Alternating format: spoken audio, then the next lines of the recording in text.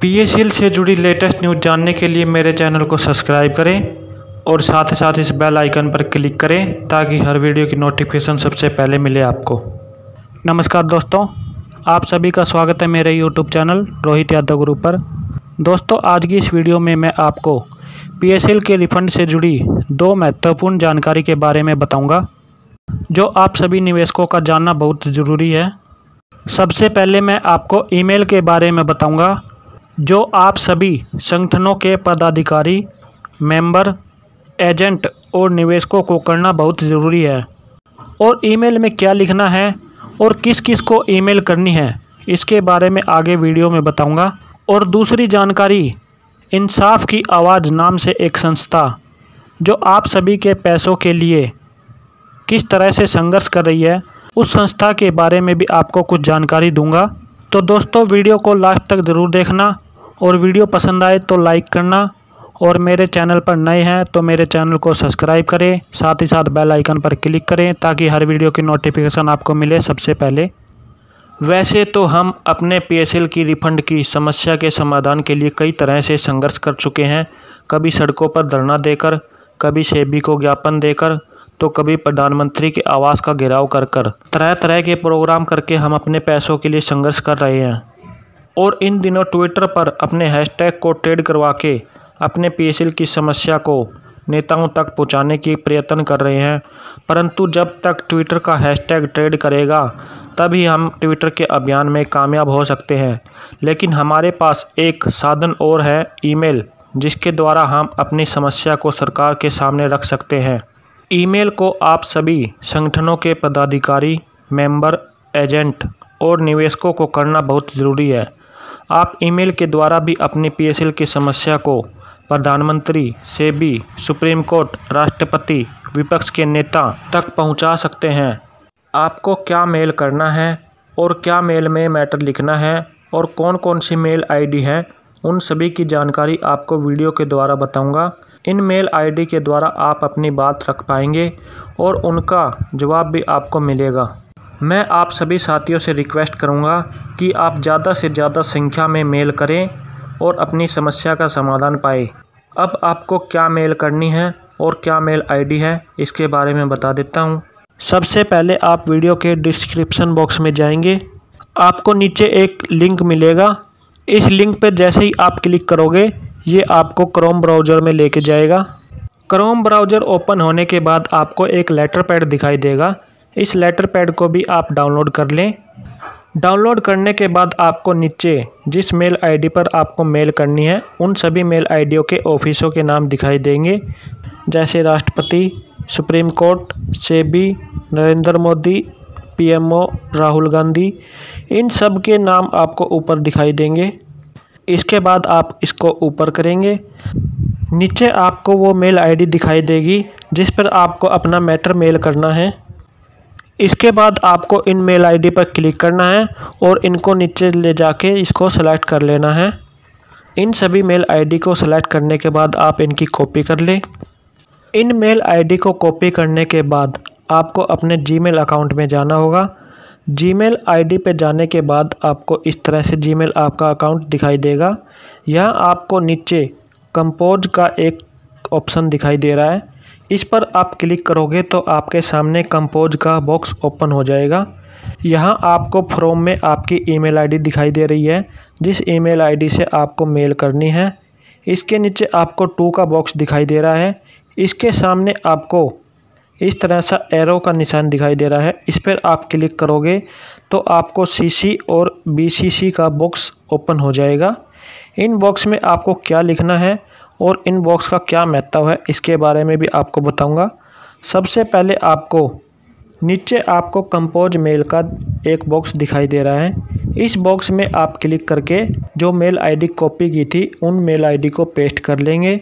Mail ID को paste करने के बाद सबसे ऊपर आपको दो मेल आईडी दिखाई दे रही है। इन मेल आईडी को एक एक सेलेक्ट करने के बाद आपको इसको सीसी के बॉक्स में पेस्ट करना है।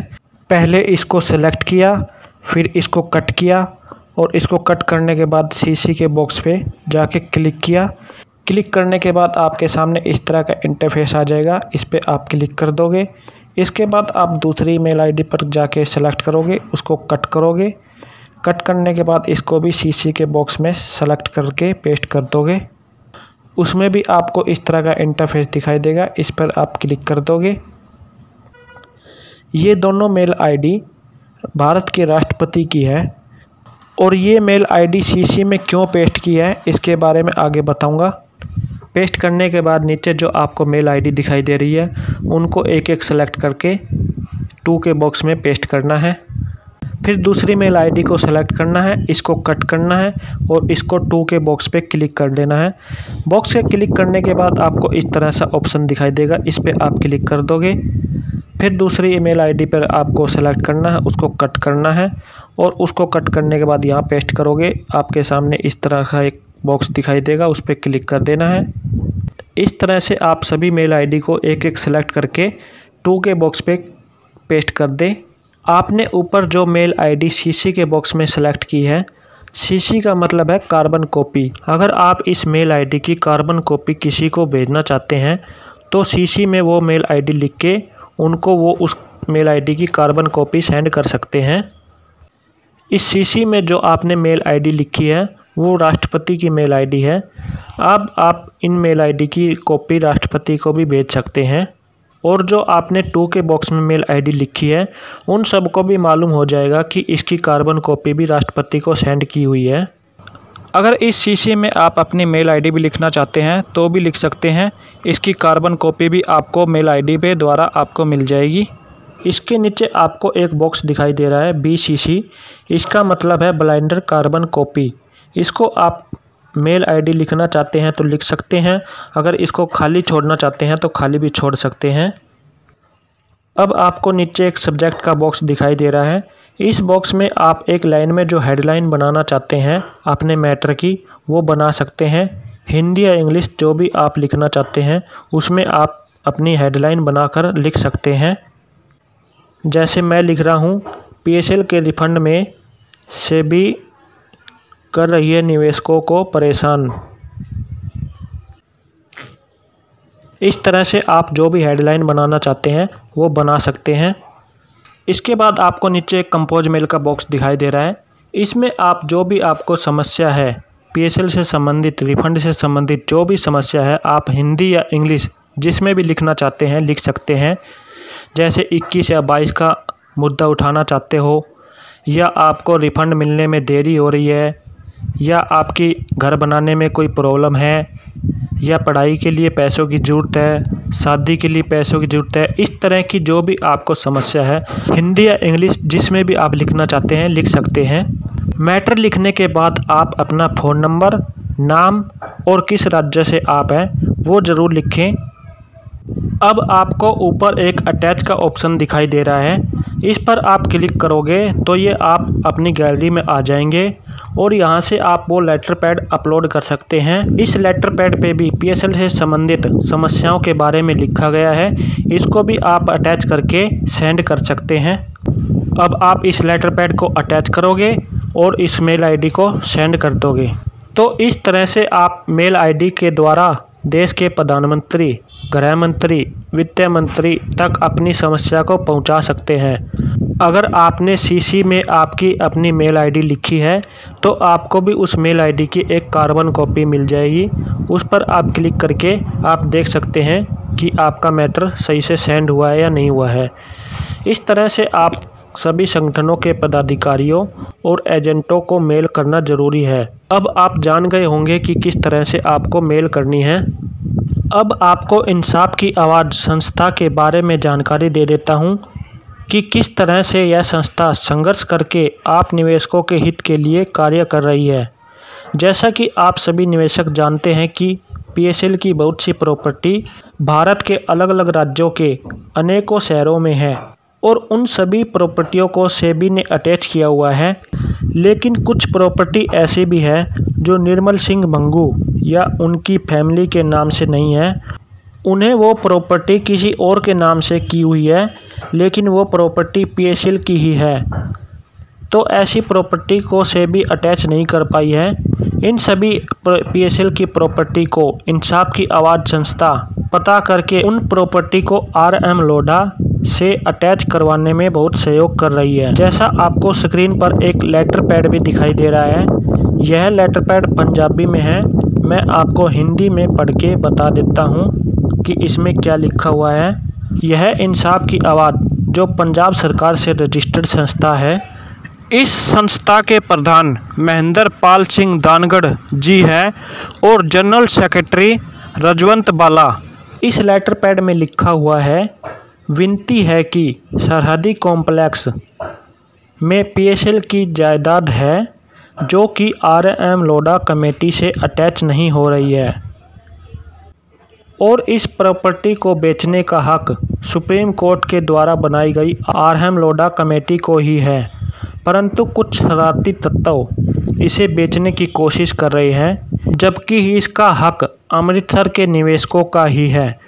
इस सरकारी ज़मीन को बिकवाकर आप अमृतसर के लोगों का पैसा दिलाने में सहयोग करें। और आपसे विनती है कि इस जायदाद को अभी तक आरएम लोडा कमेटी के अलावा कोई और नहीं बेच सकता और ना ही इसे कोई खरीद सकता है। यदि कोई ऐसा करता है तो उसके खिलाफ कानूनी कार्रवाई की जाएगी। और इस पीएसएल की प्रॉपर्टी का शिव कुमार मंजीत कौर, दलजीत कौर, रजवंत बाला ने मिलकर अमृतसर में इस प्रॉपर्टी का पता करवा के उसे बेचने से बचाने के लिए बहुत सहयोग किया और उसकी शिकायत अपने ज़िले के मैजिस्ट्रेट से करवाकर उसको सेबी से अटैच करवाने में पूरा सहयोग किया। अगर आपके ज़िले में भी पीएसएल की कोई प्रॉपर्टी है और उसे कोई खुद खुद करने में लग रहा है तो उसकी शिकायत आप अपने ज़िले के मैजिस्ट्रेट या तहसीलदार से करवाकर और उस प्रॉपर्टी को बेचने में, रोक लगवाने में सहयोग करें, जिससे हमें पीएसएल का पैसा मिलने में पूरी मदद मिलेगी। इस तरह से ये इंसाफ की आवाज़ संस्था पीएसएल की प्रॉपर्टी का पता लगवाकर उसको आरएम लोडा से अटैच करवा रही है, जिससे आप निवेशकों का पैसा जल्दी से जल्दी मिल सके। तो दोस्तों, आज की वीडियो में बस इतना ही। इस वीडियो में आपको ईमेल से संबंधित जानकारी देनी थी। अगर अब भी आपको कोई प्रॉब्लम है तो आप कमेंट बॉक्स में टाइप करके पूछ सकते हैं। आपके हर कमेंट का जवाब दिया जाएगा। अगर आपको वीडियो अच्छी लगी तो लाइक करें। अपने दोस्तों के साथ शेयर करें और ज़्यादा से ज़्यादा मेल करवाने में सहयोग करें। अगर आप मेरे यूट्यूब चैनल पर नए हैं तो मेरे चैनल को सब्सक्राइब करें, साथ ही साथ बेल आइकन पर क्लिक करें, ताकि हर वीडियो की नोटिफिकेशन आपको मिले सबसे पहले। घर पर रहें, सुरक्षित रहें। जय हिंद।